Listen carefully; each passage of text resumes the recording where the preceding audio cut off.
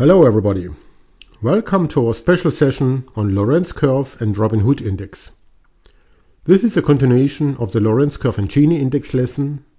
I recommend to watch this first or at least get an understanding of the Lorenz curve as this is needed in the second part of the lecture. In the previous video we talked about distribution of height among the members of Lorenz family.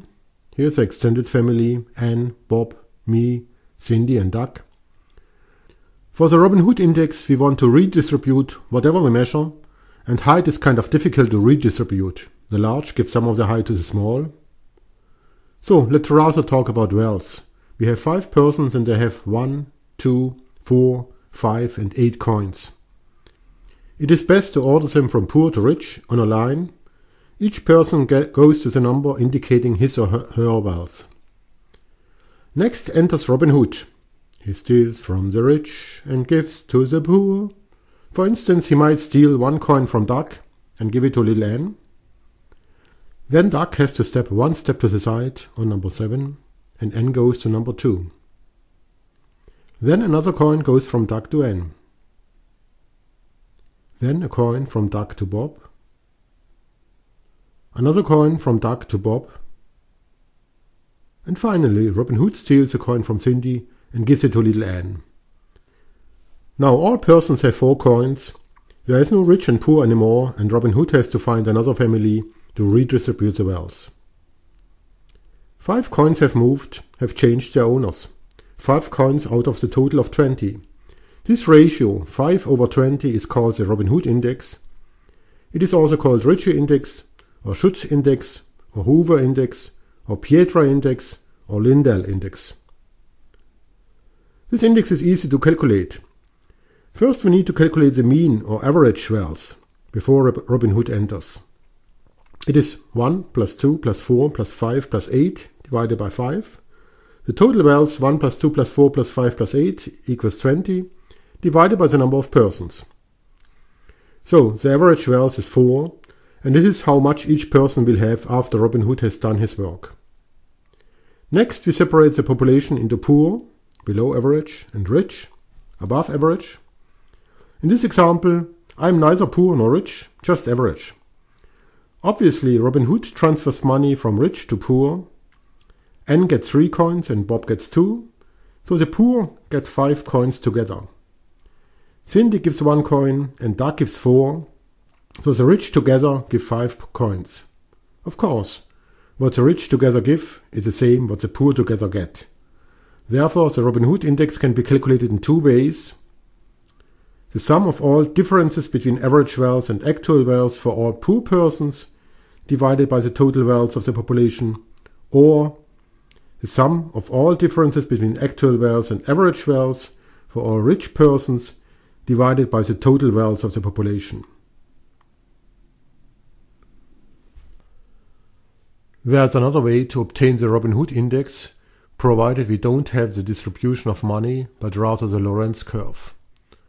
Remember that the Lorenz curve is a curve in the unit square where the x values indicate parts of the total population and the y values indicate parts of the total money.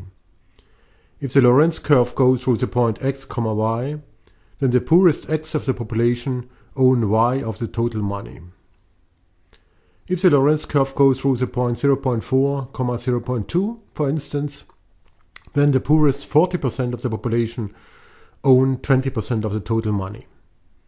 In our example, the Lorenz curve is constructed as follows. The poorest fifth, Anne, owns 1 over 20 of the total wealth. The poorest 2 fifths own 3 over 20 of the total wealth.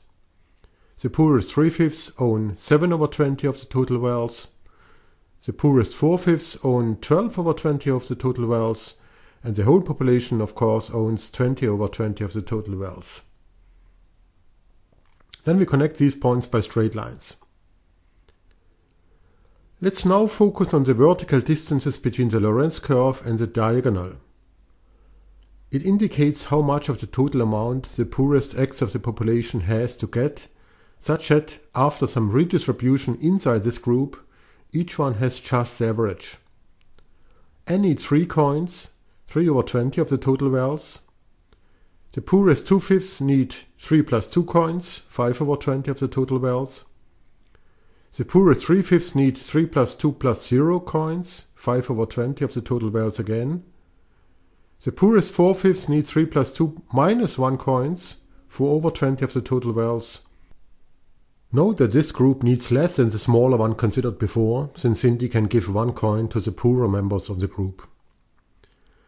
That means that this distance between diagonal and Lorenz curve will increase until we are at the x value where people have the average, at the average population, and to the right of that point the distance will decrease.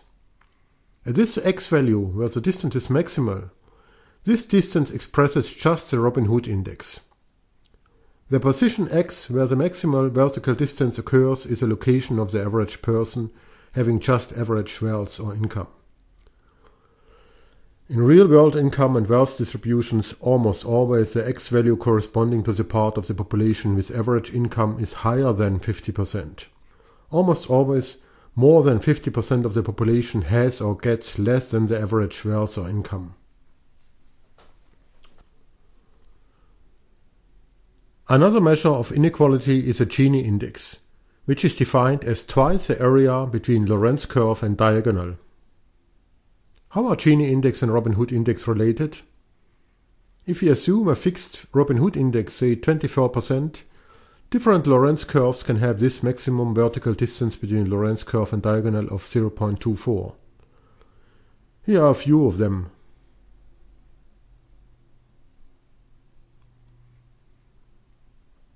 Note that the area between Lorenz curve and diagonal varies, so different Gini indices are possible for the same Robin Hood index.